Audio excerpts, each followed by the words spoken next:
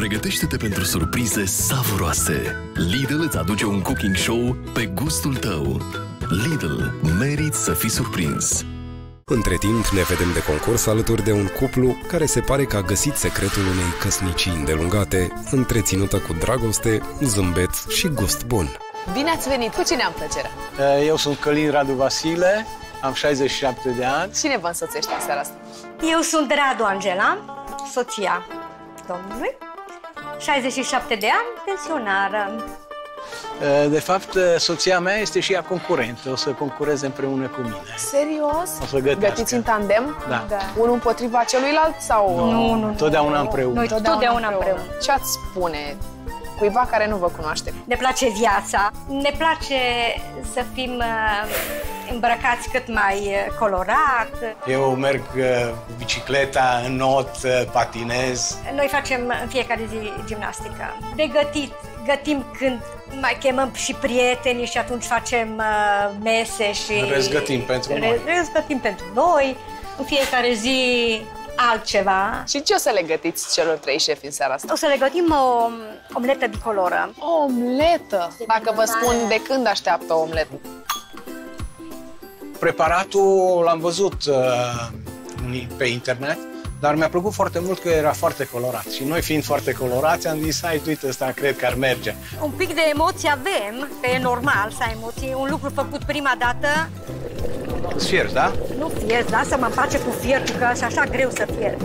Dar eu i-am mustat Angie și erau aproape fierți. Hai că mai avem puțin timp. Da, e ok. E ok. Știam.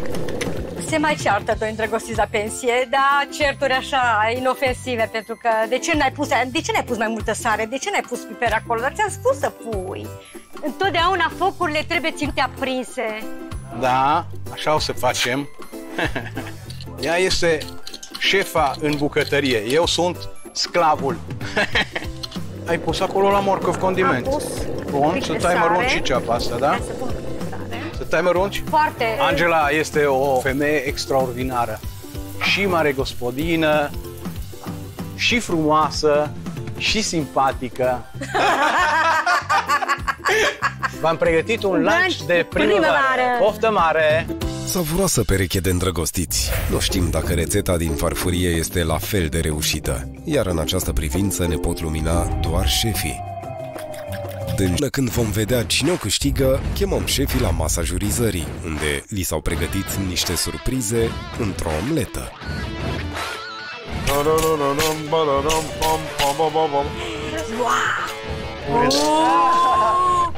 Opa! Omletă pentru Dumitrescu. Stai, bă, dar uite-te atent la Am ea, că văzut-o, e da, bună. da, bă, că Ia nu uite-o. e. E omletă Dar mea în nu e la dungi. fel de gătită ca a ta.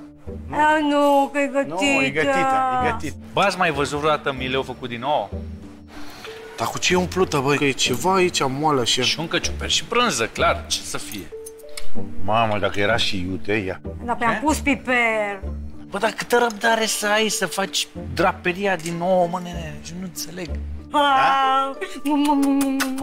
Omletă next level. Imaginează-te tu, Da, milionar, excentric, așa. da? Și stai dimineața la tine pe terasă, la mansion la mare și zici Bă, am, am tot ce am tot ce-mi doresc. Bă, tot. Am mâncat de toate la viața mea. Bă, n-am mâncat omletă Adevăr. în dungi. Vă iubesc, vă iubim. Ați mai văzut vreodată stilul ăsta?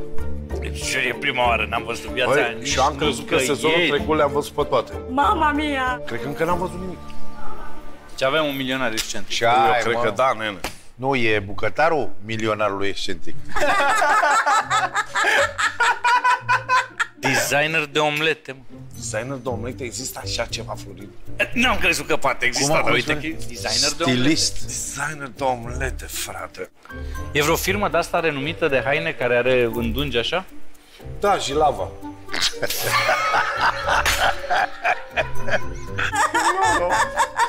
Sunt la 45 de grade. Sunt la 45.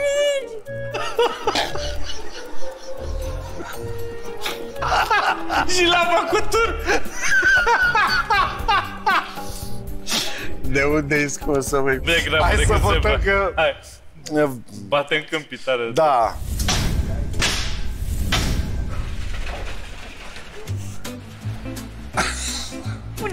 Seara! Bună seara! Seara. Dar cine sunteți dumneavoastră? Mă numesc uh, Angela Radu. Eu sunt Călin Radu Vasile. Su- Suntem amândoi din Cluj. Cluj! Angela este stilista, eu sunt uh, milionarul. Nu, uh, pardon, uh, bucătarul milionarului. Dar să știți că arătați a milionari excentrici. Mersi Datorită frumos. mie, Ea, ea, ea e stilista eu oricum. sunt stilista. Vă place? Da! Da, Vă da, rog da. frumos! mulțumim tare În mult. pandemie, ce să facem? Hai să Dar, ne vopsim uh, uh, mustața. Doamnă, eu ce culoare aș putea? Vă spun tot albastru. Albastru e mult mai rafinat. Înseamnă că designer de omlete n-am spus o prostie. Nu, nu. Designul omletei este o chestie pe care eu în continuare cred că voi sunteți niște milionari excentrici pentru că nici nu recunoașteți că sunteți milionari. Am trăit uh, foarte mult timp în Italia. Am văzut, am observat. Și, Ați observat? Păi, am observat de la da, vorbim destul de bine. cu mâna, da. Da, Și suntem cu, cu foarte colorați. Deci noi umblăm Colorați foarte și la colorați. prăbușit. pe Nu se care- vede, nu se vede. Nu se vede, nu se vede, Călin, dragă. Nu se vede. Sunteți foarte drăguți. Când l-ați cunoscut, doamnă? Eram în Clasa a uh, noua. clasa a noua de, de liceu, de fapt în timpul examenului. El era foarte serios, citea un ziar ca să nu se vadă ce emoții are. Eu tocmai ieșisem din sala de, la, de examen și m-a întrebat cum a fost. Era frumușel, cu niște cârlionți așa. Avea știi? cârlionți? Da, cârlionți avea, era foarte frumușel. Clasa noua. Da. da, din clasa nouă. Wow! Da, Când v-a cerut de soție? În anul 2 de facultate... era un anul 2 de ne-a facultate. Eu am făcut facultă- facultatea de mașini și instalații miniere la Petroșani.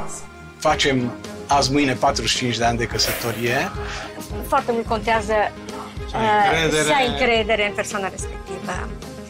Uh, și să mai lași de la tine Da, să Nu fii se un pic poate gelos așa. atâta cât cât trebuie. trebuie și, bineînțeles, mm, să ne și iubim.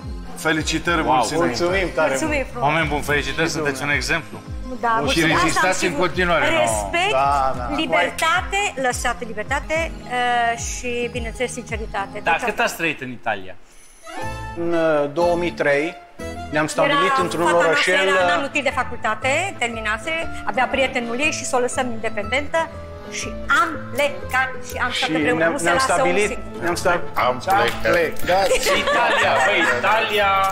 ne- ne-am stabilit Se uh, vede. într-un orășel la granița cu Elveția, Ah, Hai, hai. care, de unde pleacă trenurețul roșu, care e patru- patrimoniu UNESCO. Era un necunoscut pentru noi, Nu știam nici limba. nu știam bine În afară limba. de ceau, nu știam. Am reușit foarte repede să ne adaptăm, să învățăm limba. Avem și, Aveți și ce- ce- cetățenie cetățenie italiană. italiană. Dar cu ce v-ați ocupat în Italia? Sau de-a lungul Am vieții, făcut, ce ați făcut? da, am făcut uh, total altceva. Deci eu sunt asistentă de ocrotire. Și eu Uh, am ne-am, practic- ne-am, când ne-am plecat, ne-am, mi-am dat demisia și acolo, bineînțeles că nu mai găsești uh, Același job, postul corect. pe care... uh, Așa. Am făcut croitorie și stilist vestimentar, pentru că asta este pasiunea mea. Și el Eu am lucrat uh, în multe baruri, uh, discoteci, uh, Important e să restaurante muncești. și uh, în ultimii ani uh, am lucrat într-un uh, hotel-restaurant în Tirano. Păi și ce ați Și- lucrat practic acolo? Deci acolo Șef lucram de- sală, eram șef de sală Șef de sală. și mă ocupam de vin. Păi și în, Bu- în, Ro- în România? În România? Tot în ospătărie lucrați? Nu, nu, în România am făcut, am fost inginer electromecanic până în 98. Uh, ce poveste. De ce v-ați întors? Ne-am întors pentru că am ieșit și eu la, la pensie. pensie, 67 de ani. Și cum fac toți italienii care au pensie un pic mai mică, caută Bine, în țările... România. Ori în România, ori în Bulgaria, ori în Portugalia. Portugalia. Să duc și ei unde Că e noi mai având bine și unde casă, taxele sunt mai având, mici. da. Dar când v-ați Da, întors, da, da. practic? Uh, în toamnă. Acum în toamnă. da, puțin da, timp. da, da, da, da. Și cum ați ajuns În aici? noiembrie. Aici? Eu, eu m-am înscris. Șef la cuțite era singura emisiune pe la care ne uitam în Italia uh, din programele românești, că nu aveam televiziune acolo și ne-am abonat special la Antena 1 pentru șef la cuțite. Ce drăguț, vă mulțumim foarte mult. Oameni buni, uh, foarte interesant, m-am bucurat de ce am văzut.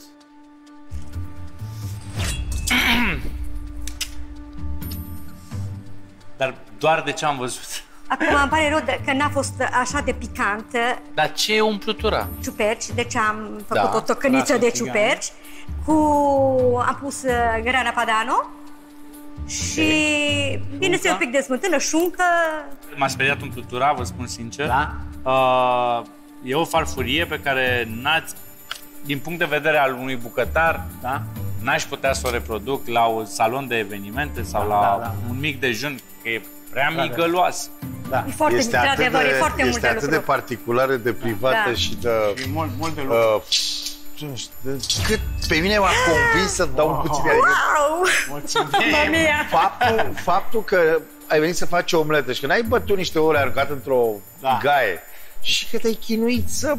Da, într-adevăr, Până într-adevăr. la urmă, omleta este unul din preparatele cu care foarte multă lume începe dimineața. Da. Deci o chestie foarte spectaculoasă. omleta. Este prima oară și am lucrat mult breakfast. Când văd omletă în genul ăsta.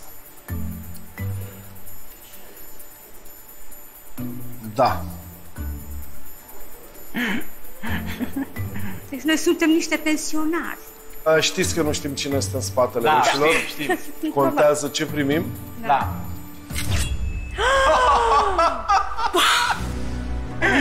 Mamma mia! Este foarte... E interesantă, vorbesc serios. Nu se poate. Interesant. Vi-l ofer cu drag. Ce m-a impresionat pe mine este că erau împreună de 50 și ceva de ani. Și eu mi-aș dori să mi se întâmple și mie treaba asta. 50 și ceva de ani. Wow. Și încă se vedea uh, flacăra în ochii lor, adică au fost o pereche spectaculoasă. Vă mulțumim! Vă mulțumim! Să rămână. Vă mulțumim! tare, Sunteți niște scumpi, Mersi, niște tare scumpi, niște scumpi. Wow! Wow, ne simțim Nu, nu ne în al așteptam. nouălea cer. A fost o experiență fantastică. Mua!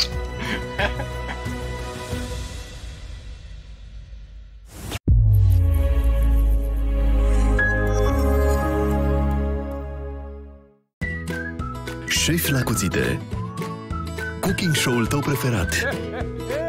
Ți-a fost servit de Lidl. Merit să fii surprins